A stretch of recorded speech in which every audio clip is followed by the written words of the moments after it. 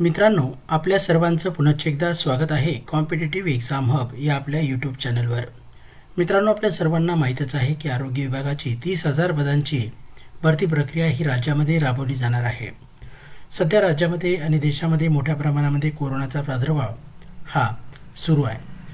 आणि मित्रांनो या अशा स्थितीमध्ये आरोग्य विभागासोबतच जिल्हा परिषदच्या अंतर्गत येणारे जे आरोग्य सेवेशी निगडीत पदं आहेत ते सुद्धा भरण्यात यावेत अशा सूचना राज्याचे प्रधान सचिव यांनी प्रशासनाला दिलेल्या आहेत. तर मित्रांनो आता विषय असा उपस्थित होतो आहे की नेमकी जिल्हा परिषदची कोणती पदं भरली जाणार आहेत?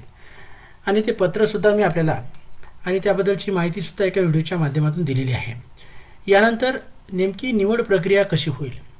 मित्रांनो दोन हजार एकोणीसला महापरीक्षा पोर्टलच्या माध्यमातून जिल्हा परिषदच्या महाराष्ट्रातील सर्व जिल्हा परिषदच्या जागा निघालेल्या होत्या आणि त्यासाठी आपण अप्लाय केलेलं होतं. तर या अंतर्गत मित्रांनो आरोग्य सेवेशी निगडीत जी पदं प्राथमिक आरोग्य केंद्र आणि उपकेंद्रामध्ये काम करतात अशी पदं तातडीने भरण्यात यावी अशा सूचना प्रधान सचिव महाराष्ट्र शासन यांनी दिलेल्या आहेत. बघू शकता आपण दोन जुलैचं हे पत्र आहे. तर मित्रांनो यामध्ये पदं येतात आरोग्यसेवक आरोग्य सेविका औषध निर्माता आरोग्य पर्यवेक्षक त्यानंतर कल क्लरिकलमधले पदं येतात. त्याचबरोबर सेवक यामधले सुद्धा पदं यामध्ये येतात. त्याचबरोबर अंगणवाडी पर्यवेक्षाचं कामसुद्धा या आरोग्य विभागाशी निगडीत आहे. त्यांनासुद्धा याची कामं बऱ्याच प्रमाणामध्ये दिली जातात. ते पदंसुद्धा आता भरली जाणार आहेत. तर नेमकी निवड प्रक्रिया कशी होईल ते मी आता आपल्याला सांगतो मित्रांनो शक्यता कशी असू शकते? ही शक्यता आहे. परंतु मागे आरोग्य मंत्री राजेश टोपे यांनी सांगितलेलं होतं की आता लेखी परीक्षा घेण्यासाठी वेळ नाही आहे आणि या कोरोनाच्या सध्याच्या स्थितीमध्ये लेखी परीक्षा ही होऊ शकत नाही. त्याचबरोबर सध्या महा टी कंपनीकडून एजन्सीसुद्धा निवड झालेली नाही आहे त्यामुळे लेखी परीक्षा होणार नाही हे जवळपास निश्चित झालेलं आहे आणि तसं आरोग्यमंत्र्यांनी सुद्धा सांगितलेलं आहे. तर मित्रांनो लेखी परीक्षाऐवजी आता आपल्या पदाची जी काही शैक्षणिक पात्रता आहे त्या पदाच्या शैक्षणिक पात्रतेच्या टक्केवारीवर आपली निवड ही केली जाईल. जिल्हा परिषद अंतर्गत बऱ्याचशा उमेदवारांनी एकापेक्षा जास्त जिल्हा परिषदमध्ये अर्ज केलेला आहे. अशा उमेदवारांचं काय होईल? तर त्यांना जे काही टक्के पडलेले आहेत फॉर एक्झाम्पल मित्रांनो आपण इथे बघू शकता आरोग्य सेवक हे पद माध्यमिक शालांत परीक्षेच्या बेसिसवर आहे. तर येथे सरळ सरळ माध्यमिक शालांत परीक्षेमध्ये जी काही टक्केवारी असेल त्याच्या बेसिसवर इथे मेरिट लिस्ट लागेल. तर इथे बघा शक्यता कशी आहे? शैक्षणिक पात्रतेची टक्केवारी म्हणजे तुम्हाला जेवढी ज्या पदांची शैक्षणिक पात्रता आहे त्या शैक्षणिक पात्रतेमध्ये तुम्हाला जेवढे टक्के असतील ती टक्केवारी गृहीत धरली जाईल. त्याचबरोबर काही पदं अशी आहेत की काही पदांना डिप्लोमासुद्धा शैक्षणिक पात्रता आहे आणि डिग्रीसुद्धा आहे. जसं की आता इथे बघू शकता आपण औषध निर्माता या पदांसाठी औषध निर्माणशास्त्रातील पदवी किंवा पदविका. हे दोघंसुद्धा यासाठी इलिजिबल आहेत. तर त्यांच्या प जे पदविका असेल त्यांच्या पदविकेची टक्केवारी जे पदवीमध्ये असेल त्याच्या पदवीची टक्केवारी. त्याचबरोबर पदविकापेक्षा पदवीधर हे उच्चतम आहे. त्यांची शैक्षणिक पात्रता ही जास्त आहे. त्यामुळे त्यांना कुठेतरी लाभ मिळाला पाहिजे. त्यामुळे उच्चतम शैक्षणिक पात्रतेकरता काही विशेष गुण हे ठेवले जातील. ते गुण जवळपास दहा गुण असू शकतात. त्याचबरोबर काही असे उमेदवार आहेत की त्यांच्याकडे अनुभव आहे. तर या अनुभवाला कुठेतरी वेटेज मिळालं पाहिजेत त्यामुळे अनुभवालासुद्धा इथे गुण दिले जातील. जसे की एका वर्षाचा अनुभव असेल तर तीन गुण दोन वर्षाचा असेल तर सहा तीन वर्षाचा असेल तर नऊ पाच वर्षाचा असेल तर पंधरा पाचपेक्षा जास्त वर्षाचा अनुभव असेल तर जास्तीत जास्त पंधरा गुण. तर अशा प्रकारे ही निवड प्रक्रिया एकत्रित मित्रांनो होईल. तुमची जी पदांची शैक्षणिक पात्रतेची टक्केवारी आहे ती इथे टाकल्या जाईल.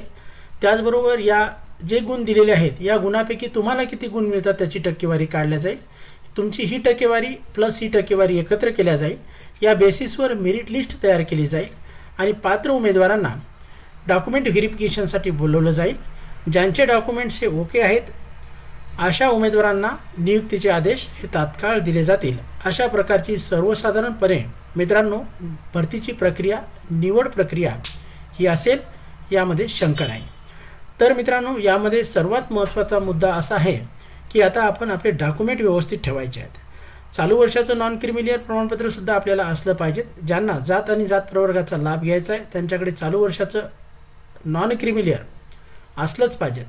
ज्या महिलांना महिला महिलांना तीस टक्के आरक्षण आहे. ज्या महिलांना महिला आरक्षणाचा लाभ घ्यायचा आहे अशा महिलांनी नॉन क्रिमिलियर प्रमाणपत्र आणि डोमेसियल प्रमाणपत्र त्यांच्याकडे ठेवणं खूप गरजेचं आहे.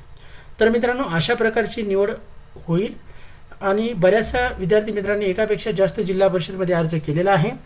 तो अर्ज ॲज सच तसाच्या तसा राहील. तुमची जशी टक्केवारी असेल जसे गुण मिळाले असतील त्याप्रमाणे तिथे कंपॅरिझन आपलं होईल. आणि तुम्हाला जर एखाद्या जिल्हा परिषदमध्ये तुम्ही पात्र झाला तर तुम्हाला तिथे डॉक्युमेंट व्हेरिफिकेशनसाठी बोलवलं जाईल. तर अशा प्रकारची ही सर्वसाधारणपणे प्रक्रिया असणार आहे. अशीच प्रक्रिया ही आरोग्य विभागाची सार्वजनिक आरोग्य विभाग जे मागे आपण अर्ज भरलेले आहे त्यांचीसुद्धा असणार आहे.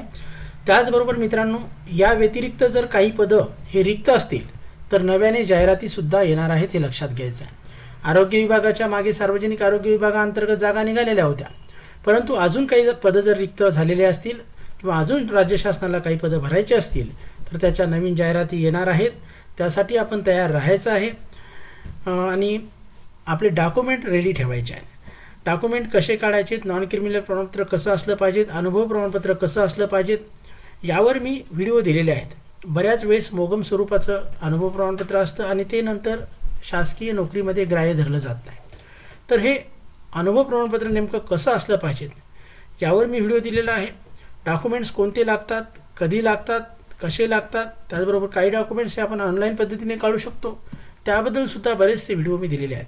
तर एकंदरीत मित्रांनो तांत्रिक ज्या काही बाबी असतात ज्या बऱ्याच विद्यार्थी मित्रांना माहीत नसतात बऱ्याच वेळेस बऱ्याच विद्यार्थी मित्रांना एकदम टॉपवरचे गुण असतात. पर्सेंटेज जबरदस्त असतं.